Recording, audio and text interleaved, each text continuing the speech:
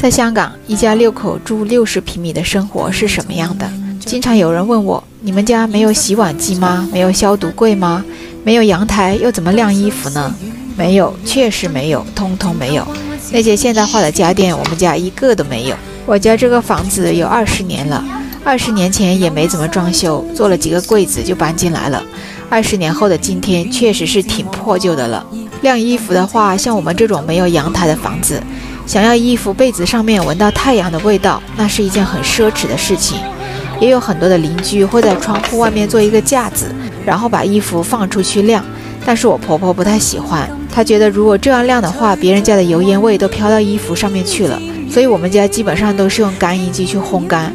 我们家有两台烘干机，大的烘一些大件的粗糙一点的衣服，小的用来烘干一些面料好的或者是急着穿的衣服。小的干衣机，我们家用的是这个木卫的，我好喜欢它这个十五分钟的闪烘功能。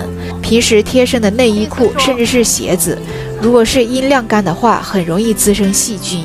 用这个烘干机干一下就会好很多，直接除菌百分之九十九点九九，而且不起皱，软乎乎的，香喷喷的。昨天大的干衣机坏了，这几天香港天天下雨，这个轻便快捷的小烘干机就派上了大用场了。特别的省心。早上我给孩子们做个早餐，今天给他们蒸了几个烧麦，烤了几个面包，吃的有滋有味的。我们家的房子虽然小，但是所有基本的需求都可以得到满足。得益于现在这个年代科技发达，有太多高科技的设备可以让我们解决问题了。所以，我们家虽然房子小，但是幸福指数还是挺高的哦。